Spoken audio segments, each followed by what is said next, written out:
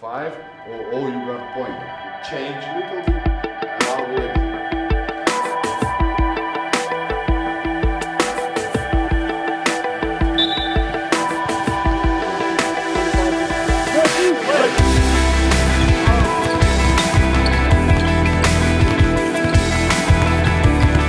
Esu pasiryžęs savo esamus ir būsimus darbus skirti Lietuvai.